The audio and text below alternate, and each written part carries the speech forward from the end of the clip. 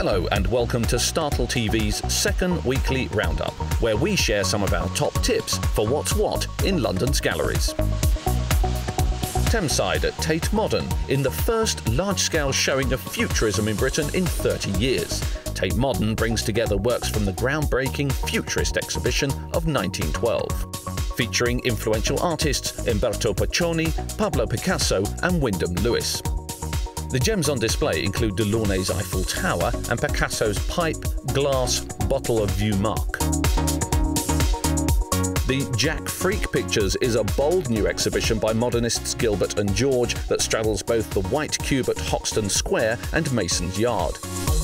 The single largest series of work ever made by the British duo displays huge format pieces that enthrall the viewer. Striking use of the Union Jack, East London street scenes, and symmetrical motifs evoke a sense of past, present, and future. The Royal Academy hosts a major retrospective of pre Raphaelite artist John William Waterhouse.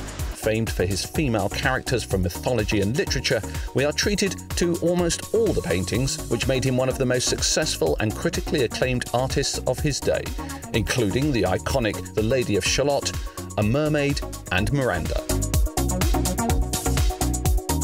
That's it for this week.